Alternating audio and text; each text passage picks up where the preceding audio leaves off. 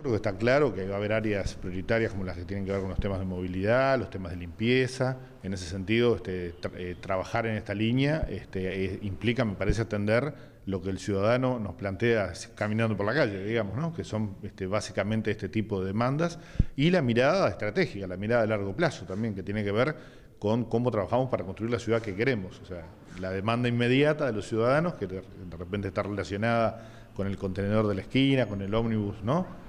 Que no pasan horas, etcétera, etcétera. Hay un planteo allí de renovar paradas, etcétera, el mobiliario urbano, este, todo este tipo de cosas y una mirada más de largo plazo que tiene que ver con la ciudad que queremos, este, con, las obras más importantes que se van a desarrollar en este periodo.